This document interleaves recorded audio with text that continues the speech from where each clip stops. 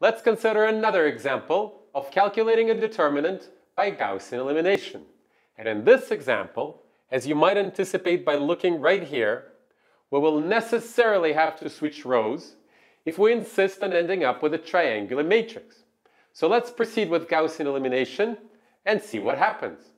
The first step in Gaussian elimination is to subtract 2 of the first row from the second. And the result is 0, 0, 2, 4.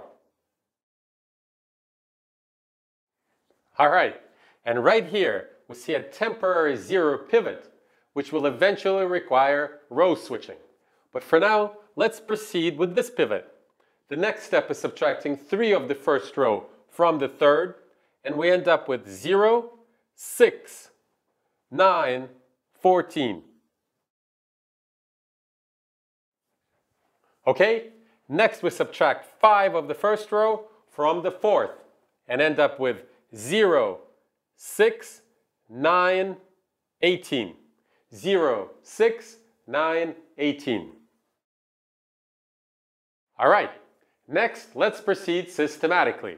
We want a non-zero pivot in this spot and this can be achieved by switching rows 2 and rows 3. But for this step, we must think of the consequence. We must think of the effect of this step on the overall determinant.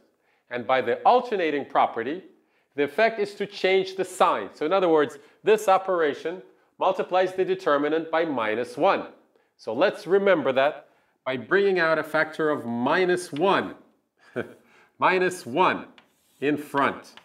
Okay, and now we will switch the two rows.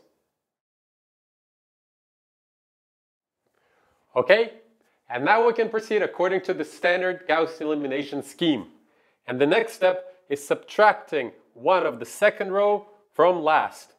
And that actually eliminates two of the entries at the same time.